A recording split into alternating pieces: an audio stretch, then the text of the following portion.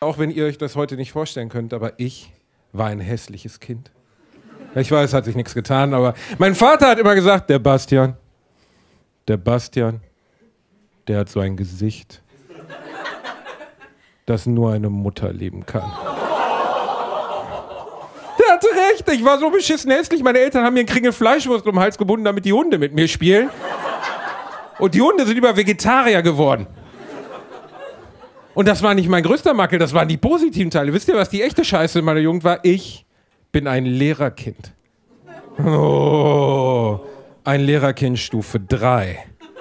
Hm, Stufe 3 heißt, meine Mutter war Lehrerin an meiner Grundschule, mein Vater war Lehrer an meinem Gymnasium und mein Onkel war der Direktor. ja, das ist die Reaktion, die ich hören will. Nicht lachen. Haben wir Lehrerkinder heute hier? Komm, echt nicht? Ja, oh. Und ist es deine Freundin oder deine Pflegerin?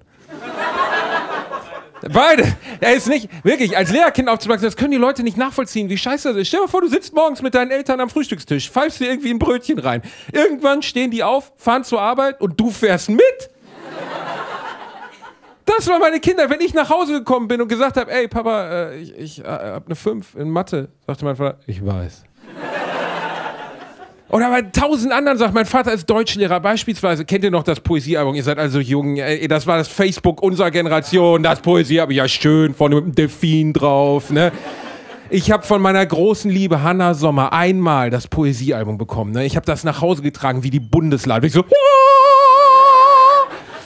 Und dann habe ich zu Hause in Schönschrift Sachen reingeritzt, ne Hobbys, so Sachen, die Frauen mögen, so Ponys und habe das zu Hause gelagert und ihr am nächsten Tag gegeben. Und sie kommt einen Tag später auf dem Schulhof zu mir, zitternd, mit weißer Farbe im Gesicht und sagt, Basti, hast du mein Poesiealbum korrigiert? Nein, aber mein Vater! Und er hatte drunter geschrieben, 4 minus, Hanna, so sehe ich keine Zukunft für dich. Danke. Kuckuck, wenn ihr Spaß gehabt habt ne, und vielleicht gerade im Klassenraum sitzt und euch den Arsch ablangweilt, hier oben draufklicken. Da sind noch spannende Videos.